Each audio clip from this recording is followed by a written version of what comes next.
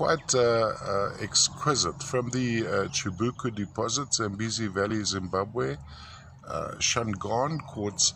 Color of these is, is usually a smoky amethyst. Now, these have been totally coated by uh, what I suspect to be a thin layer of uh, um, chalcedony. Little bit of dendritic formation there, which adds a lot of character. Now, another th interesting thing, as I was doing the, the uh, still photos, I noticed this little crystal of hematite jutting out there, which hasn't oxidized. So, fresh hematite sitting there. Uh, from a display point of view, can be displayed so the, the matrix would lie flat like this, so going around like that.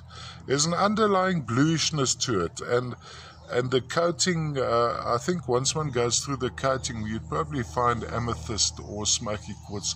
Most likely some anhydrite is trapped in here too, but we, we will never know, and we don't want to remove the coating because there's a lovely undertone of patterning to this coating. Um, let's just move a little bit closer and show you that little hematite crystal there. You see the intense reflection. Little blade, little maybe specularite more than hematite. Of course, specularite is a a variety of hematite. It's the bladed variety of the hematite. Little platelets.